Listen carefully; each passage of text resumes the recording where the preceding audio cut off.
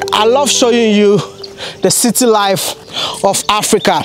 But personally, I'm a village boy and this is the place that I would love to spend my entire life, man.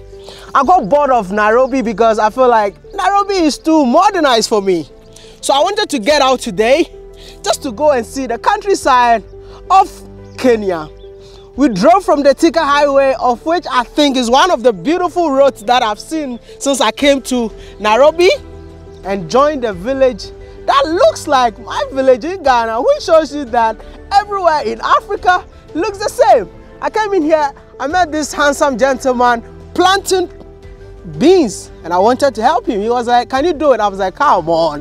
I'm a village boy just like you. But hey, you know what?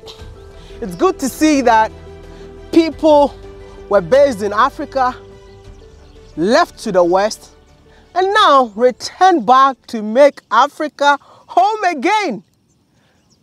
I'm impressed of what Kenyans are doing.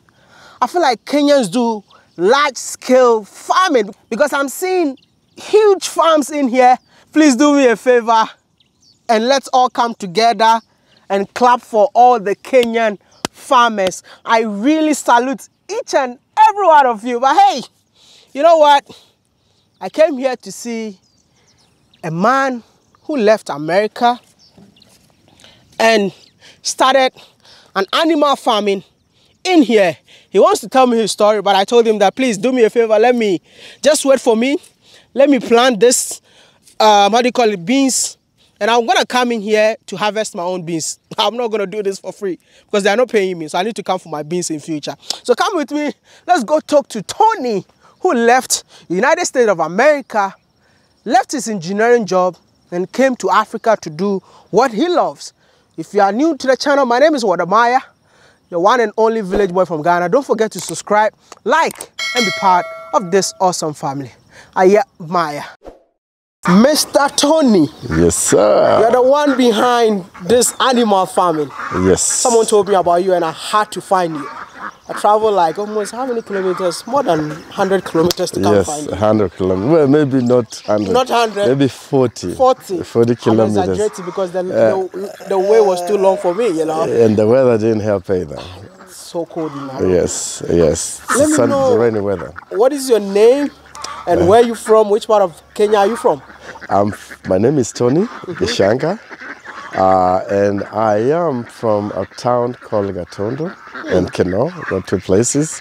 Um, and I came to this place, I bought this land so that I can farm animals, and you can see I have a lot of animals here. You bought this land just to farm animals. Just to farm animals. You were born and raised in Nairobi, Born and raised in Nairobi, and what happened to you? and then I moved to the US. Oh, Uh, when I moved to the US, I was there for 25 plus years. 25 years in the States. Plus. in the I'm so States. sorry. And what were you doing in there? In the States, I worked for a technology company. And then uh, after a while, you, you hit that ceiling. And then I started working by myself. Um, I got a little bit of trucking warehouse. And then that also got to a point, and that magic bulb lit up and said, Well, gotta go back home. Home is, home is best. You established your own business in America, Ah, yes, I did. and you left all that. I left all that, came back, look around. why animal farming? Why animal farming? I, I, I think animal farming was easier for me than plant farming. Uh, this is a little bit more predictable. Uh, I can decide when we're going to slaughter the animals. I can decide when the rains are going to come so that I can plant. So it's a little bit more predictable for me. I love animals. I was exposed to animal farming earlier on when I was growing up at my grandfather's farm. And I think that's my inspiration. that's where it came from for the animal How farm. long have you been in Africa? I'm back now five years. Five years. Five years. And how long have you been doing this farming? Uh, this is about three years. You mean you achieved all this Yes, in, in the Kenya within three years? three years, yes. You brought some money from the state. Well, I had some little money. yeah, but it's a challenge. Uh, as you can see, it's still in development. Yeah. Uh, you know, once it's fully functioning, then we'll have more buildings here. We'll have more pigs. We'll have more ducks. We'll have more rabbits. Yes. Tony, I, I wanted to know how was the transition from leaving America back to Kenya because I Mm. mean you were out there for like 25 plus years Yeah. and coming back how was the transition were you able to mingle The transition is, is a little tough. I always tell people the first year, the first year is a little touch and go. Um, you're always trying to figure out things. It's like you're learning new things. But home is best, so you know you have to look back and say, when I went to America, I didn't know much about America either. So I learned that system. At least I was born here, so I should be able to adapt, adjust, and make something out of it. so you mean like do you regret coming back home I wish I came out. I wish I came out there sooner. why The freedom, the freedom, the quality of life. This place is amazing. I don't know why I keep when I talk to people they keep on telling me the freedom the quality of life I don't understand because we as young Africans Yeah. we just want to go there and you guys are coming back No, no, no, no, no, no, no, no, no, no. I see a lot of people come here and they ask me again, why here, why now? And I say, listen, you have to program yourself not for the short term, for the long term. Hmm. It's a process. And once you get started, you know, every journey begins with the first step. Yeah. The first step you make is more towards the destination. And the sooner you do it, the better. Tony, I want you to take me around of what you've done so far so that people can see. Sounds good. Let's done. go. Yeah. They don't be like I'm making things up. This here is um, is a pigsty. okay. Um, we have pigs. Um, we're using half of the shed, as you can see. Uh, we have pigs here. Uh, this is where the pigs hang out. We have them on different ages. Some of them are pregnant. So if you come here next year, you'll definitely have more pigs than than you see here. But you you mean like you started this three years ago? Actually, the pigs, the pig thing was a little different. Okay. Uh, I started with a few pigs that um, I, I had a friend that was struggling to feed their pigs. And they told me, Tony, please, please, just take the pigs. Uh, you pay me later. And I said, wow, uh, I never kept pigs before, uh, but I'll give it a shot. So I took the pigs, and one of the pigs is Mama Pig. Mama Pig. Yeah, Mama Pig. Hi. One of the pigs is Mama Pig. Now, Mama Pig, come on, wake up, Mama. Mama Pig is very pregnant, Oh, okay. but she's she's due on Christmas Day. Uh, Mama Pig, you're tired. So on here, um, we have some fish. We have a pond here where the ducks spent most of their day. Red ducks in here. Yeah, we rear a lot of ducks. Uh, these are what you call the Pekin ducks, the Campbell ducks. Um, so we rear them here. Um, so when they come during the day, first thing is they go for a swim. You see them grooming, uh, and then after they groom, they'll go out. Now these ducks are quite interesting because, um, for one, they don't brood, uh, and they lay their eggs everywhere. So apart from uh, the few eggs that we collect, uh, my pigs enjoy being outside because they feed on the eggs. So now here, part of the feeding is this is the, the pig manure. Okay. So when we switch the pig place, this is where we come and dump it. Now when we dump it here, um, you'll find a lot of chicken will come here to feed. And what do they feed on? Um, let me see if I can show you. So what the chicken would feed on is if you dig a little bit, you'll find there's a lot of worms. Uh, maybe not this side. Come this side and see.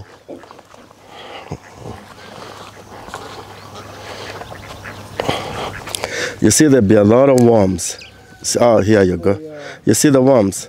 So this is basically what we, we, we, we know we'll, we'll come here, get a whole bucket, and go feed the, the, the new chicks. We have new chicks. So, uh, but you also see the chicken will come here. That is freshly cleaned. So you see there's a lot of fly action there. So they come lay eggs. And in seven days, we have more food for the chicken. So we harvest a lot of water. All these are massive water tanks you see here. Um, basically what you're seeing, half of it is under there. So we have about 250,000 liters of water from these four tanks. So, yes. A borehole.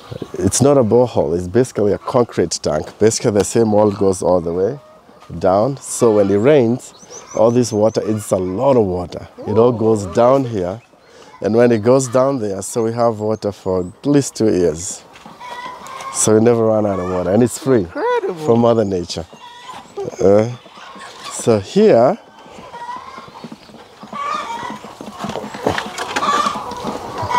here is where we have the chicken.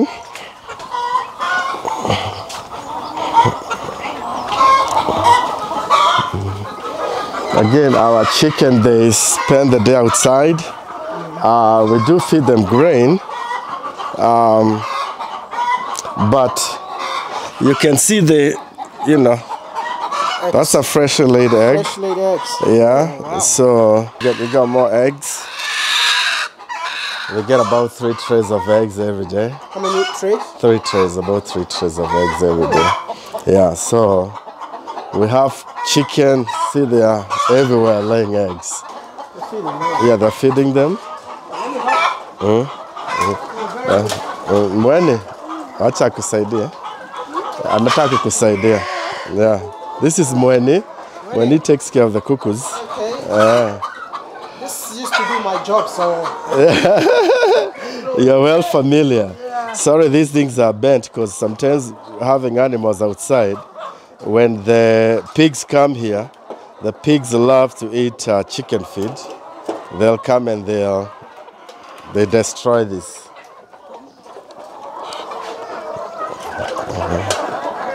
Whoa. They're hungry. Can have Something here. Come in here. We show you something.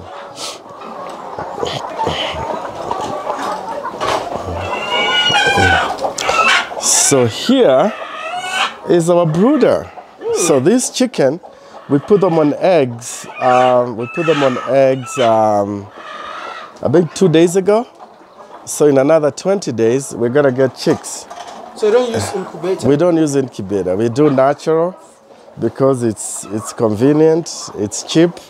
I, I know so many people don't know Yeah. this method. Yeah. Uh, can you tell us how many days does it take to hatch these eggs? 21 days. 21 days. 21 days, we have more chicks. Here we have to disinfect Where before we, go.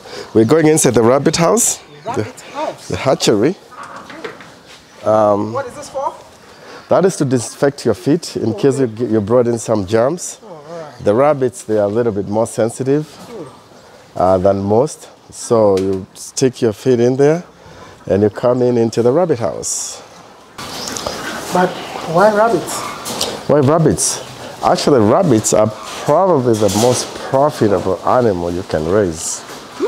Yes, and I be, and I hope that everybody in Africa can can raise rabbits because you don't need a lot of space. Obviously, this is a little bit on a larger scale.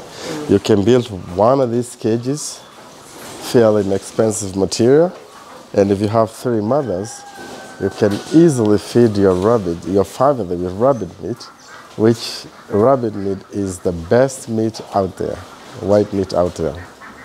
Uh, yes, we, we usually actually eat more rabbit meat in my house than chicken. Yeah.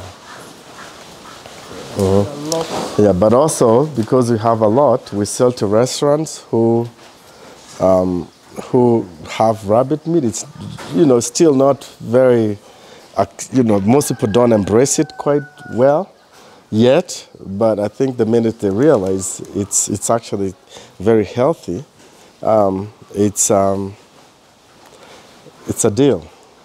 But I think um, you also sell to people want to keep it as pets. Yes, I saw, you know, a lot of farmers come here, um, people who are getting into it. We also still fairly new at it. You see, we, we are expanding. Um, but you know, we, we, we have our share of farmers that come here.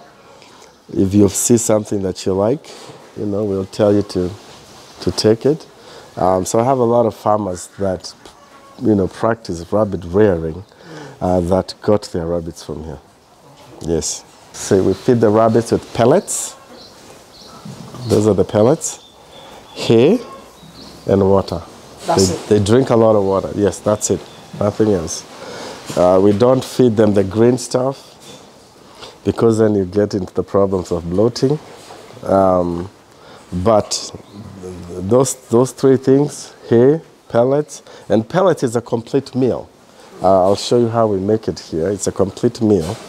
Um, so when they eat it, it's pretty much sufficient.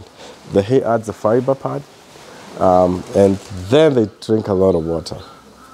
They drink a lot of water. Um, so about a bunny this size here, like now this one here, somebody might ask me, how old is this? This is about two months. So in, so in another month and a half, they are ready to be on a dinner plate. Three months, Three and a half months. three and a half months. Yes, yeah. They are, they are, they are ready to, to be slaughtered. I'm seeing a lot of cow dung in here. Yeah, we have cows. Oh, the okay. cows live here now temporarily before we build a shed for them out there. Oh, the- But they're still calves. We'll go look for them. I know they're somewhere here. Oh. Yeah. So we'll, we'll do goats at another time. That's the milking parlor for the goats. Uh, the goats have their own sections because goats fight a lot. Um, but when we do uh, goats again, we're gonna do the goats what you call zero grazing or semi, but mostly inside, not outside. Outside. Yes, because over here it gets really, really hot, and the feeding becomes a problem because they want to be sitting under the shade the whole day, and then they can't produce. So it was just Costing, eh? yeah, breed. The breed wasn't the the, the right one for for this area. So if you come out this way, this is a section that we have for. This is where we keep the little ones. Why is a hen hatching ducks? Uh, good question. Uh, all the ducks, the, all the, all the ducks that you see here, they're hatched by chicken, because the ducks don't brood. So we use the duck eggs, we brood with the chicken, and we get ducklings. Now, if you look closer, there's also three other, uh, three other strange-looking birds. Yeah.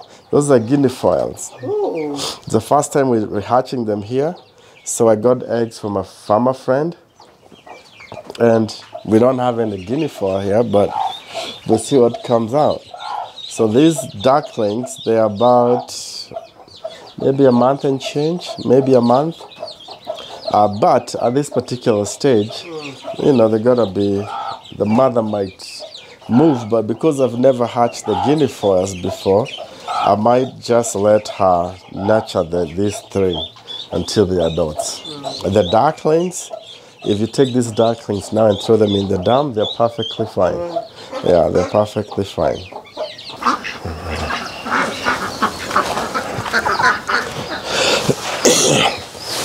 If you come here,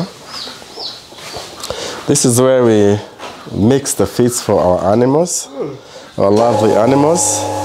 Um, so we'll buy the raw materials, uh, and the raw materials is the tricky part because you gotta make sure if it's wheat bran, it's a wheat bran.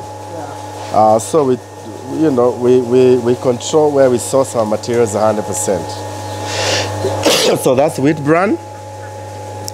This is wheat pollard. It's a little powderish. Um, we have the protein. This is the soya. This is a byproduct when you make soya. So this is what we call the soya cake. We Blend all of them together We blend all of them together and feed them. and then we feed the animals. So when we bread them, let me show you um, what we just made today. Was so we, we if you come here, you'll, you'll, you'll see we mix everything here together. this is a mixer. So it'll go down. Once it goes down, it'll come out from this end here. Once it's blend, see? Now once it mixes it, it's a big spiral here. It goes up and down. It'll, it'll, it'll come out from this end. He'll do his quality control here. And then this thing picks it up, it goes to that side. So when it comes to this side, here is where we make the pellets. We put it in here, comes out as pellets. This, it'll come out as this. And this is where we feed the rabbits. Huh? Yeah, oh, he started it. So, hold on, watch. He'll put in here, and you'll see what will come out.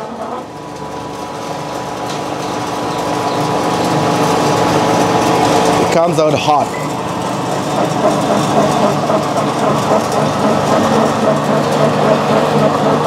Hmm? It's hot. Right? Do you think that it's worth it to invest in animal farming? Absolutely, absolutely. We have five different animals here. We have the ducks, the chicken, the rabbits, the cows are work in progress, and we also have the dogs. So you can make a living doing it. And um, you know, we have brothers and sisters in the diaspora Yes. who are looking forward to come back home. If you should say a message for them to come back, what would that message be? That message will be uh, I, you have to be passionate about farming. So find whatever you're passionate about. It doesn't have to be animal farming, it could be plant farming. Uh, just whatever you're passionate about, something that even when you don't make money, you still enjoy doing. Uh, and uh, again, I'm gonna say when you look at the long term, you know, don't look at something. You know, in the West, we're used to getting a paycheck every week or bi-weekly, so you get comfortable with that paycheck. Uh, this one here, you could go months without Without a paycheck. anything. So you're always gonna think long term. But even with that, maybe at the end of the year, when you look it up and average it out, you're still gonna come out ahead. I just want to say thank you so much for talking to me.